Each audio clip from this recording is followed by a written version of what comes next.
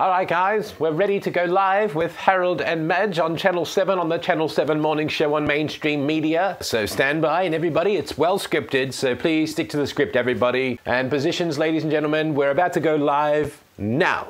But now, more than three decades on, the pair is teaming up again for a very special project. And Ian Smith joins us from our Melbourne studio. Hi, Ian. How are you? Morning. Hi. Can you We- hear me? Yeah, we sure can. We do need to clear Larry? something up.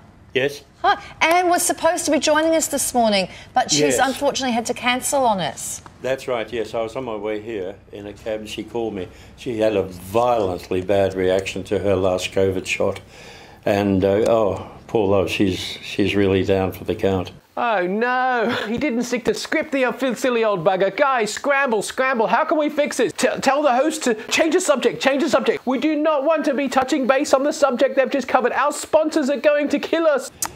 Oh, well, we're wishing her all the best, Yeah. Anne. If you're watching, we're sending you all our love. Now, when you two are together, Ian, it's not just Ian and Anne. For us, it's Harold and Madge, right? How do people react, react when they see you guys together? Big Pharma is going to crack about this. Please, guys, don't question it. Just keep moving on. Swing past it and just don't ask any questions.